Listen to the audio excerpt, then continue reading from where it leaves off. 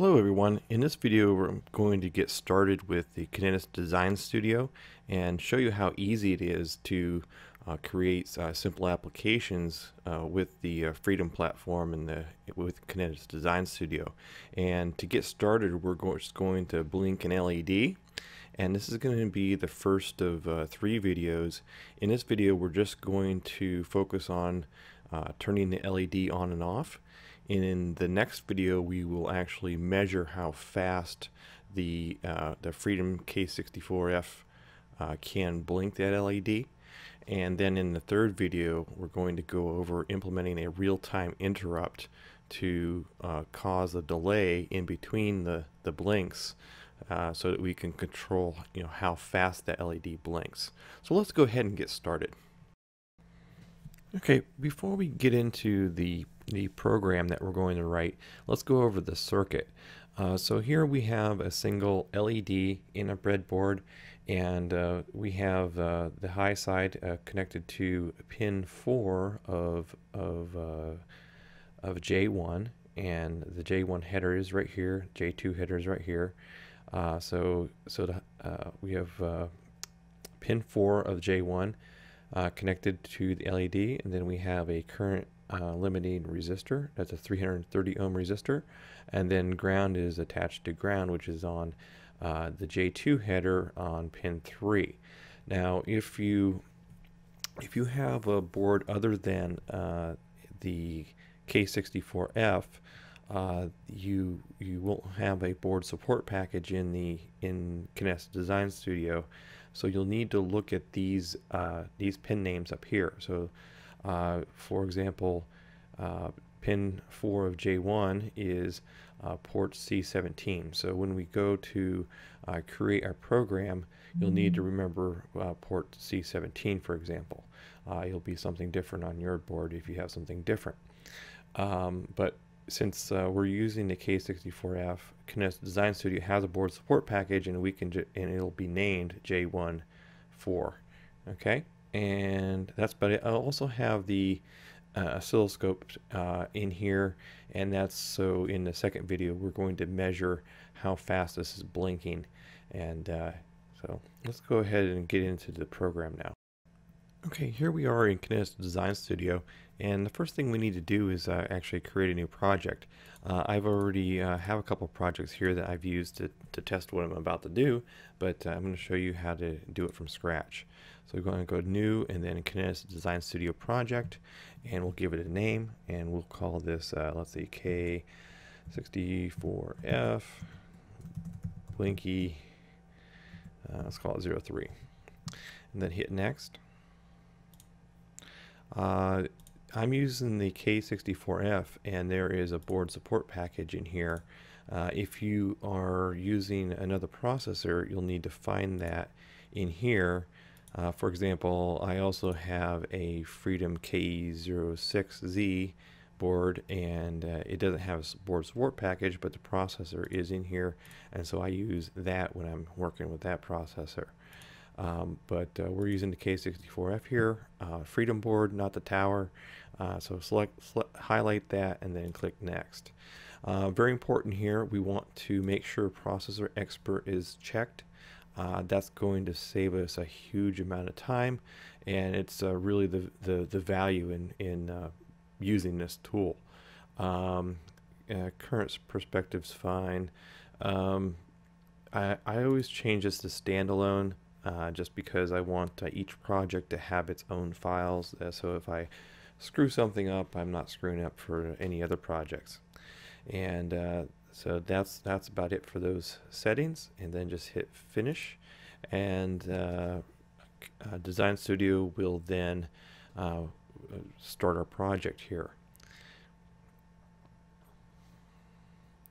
And it just takes a few seconds.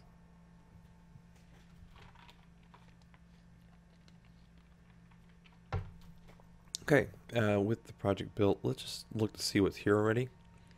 Um,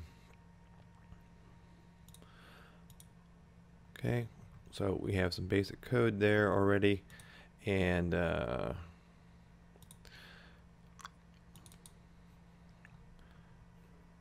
some basic code.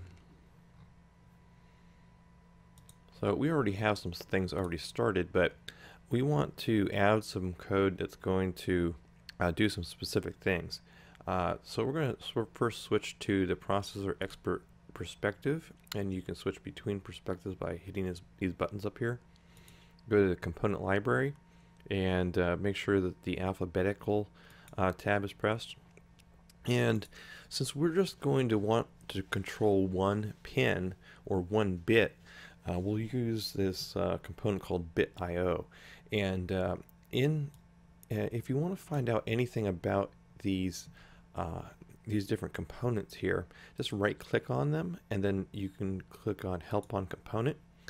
And uh, so let's look at the methods for this. You can get some general information about it, but let's look at methods. Um, we're going to use a method called negval. And uh, what this does is it basically just toggles the value of a pin. Uh, and that's exactly what we want to do to blinker LED. So we're going to want to use that method and uh, and so jot that down. We'll use it later. Um, we just look at typical usages here and you can see here um, this is exactly what we're going to do where we have bit one bit one underscore negval and it just inverts the output level on that pin and so every time uh, this for loop executes, it, it toggles that uh, pin. So to add this to our project, we just make sure it's highlighted, right click, and then add to project. And it's over here. Uh, now up here, make, go to the component inspector and you see you've got some things in red. And those are things that we need to, to fill in. Um, if we switch to advanced up here, we can change the name of this component uh, and uh, and that will that will actually change the name of the function that you're going to call later. So uh, just be aware of that. If uh, if you do change it, your your code might be a little bit differently. I'm going to leave it as is and keep this on basic.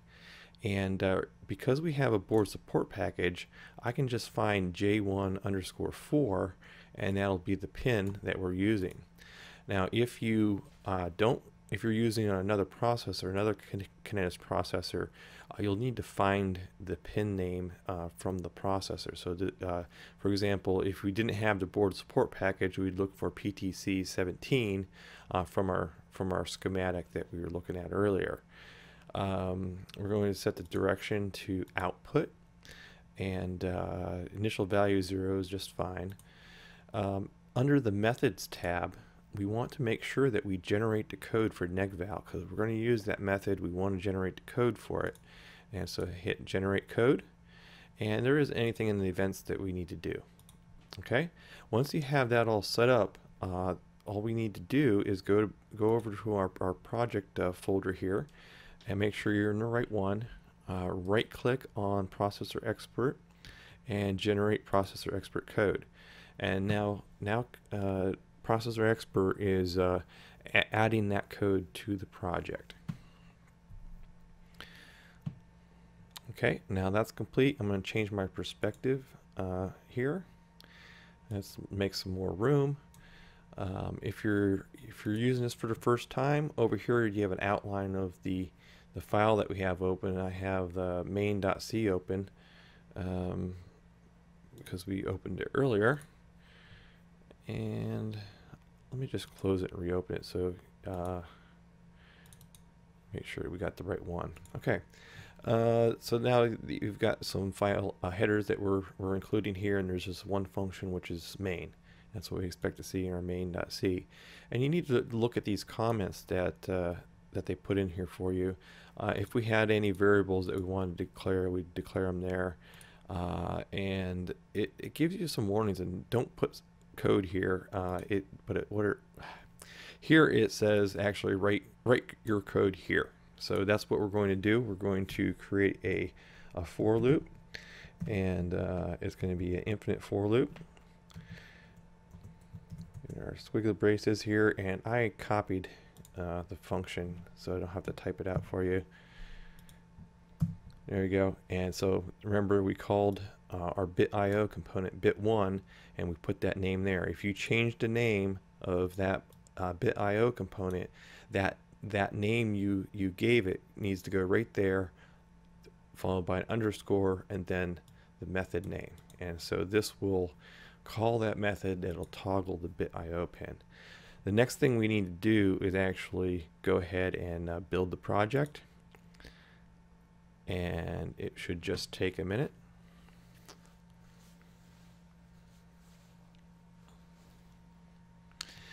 And now we go to debug and I think I need to uh, set up my debug configuration. Uh, hopefully this works. Uh, I think I need to create one. So I'm going to create a new debug here um, called that. And I showed you how to do this in another video. So I'm just going to go through it real quick. Open SDA comes up automatically. I need to find uh, the processor. It's in here somewhere. K64F and that's it. And apply. Now we should be able to debug.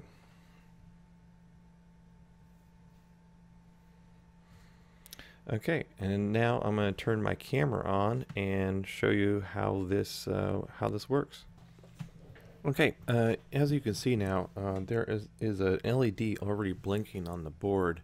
Um, uh, when I paused the video, I actually went back and I reloaded an old program. And actually, it's going to be the program we end up with. It's the blinky one up here. And uh, it's a blinking LED once every second. And uh, I just did that so you can uh, see how the it, it changes when we load the program that we just created. Uh, so I'm back in the, the, actually I just noticed I left out the K there. Oh well, it'll still run. So I've, I've built this. Uh, now I'm just going to go ahead and debug it. Uh, I use my debug there. And now, uh, okay, uh, I need to switch to my, was going to switch for me.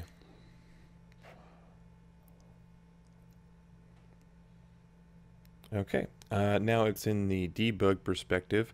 Uh, you can see the LED has turned off because it has uh, loaded the new program and it has halted that program. And to get that program to actually run, we need to click this button right here uh, called resume, uh, or we could hit F8, I suppose. And I'm going to do that, and you'll see that the LED turns on. And uh, actually, that LED is is blinking as fast as the board can make it blink.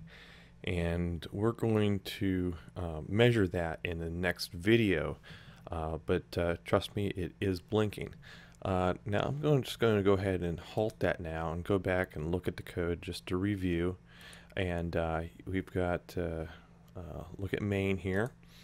And you can see that we have a for, a for loop and it's just uh, it's just cycling through there as fast as it possibly can and, and toggling that pin.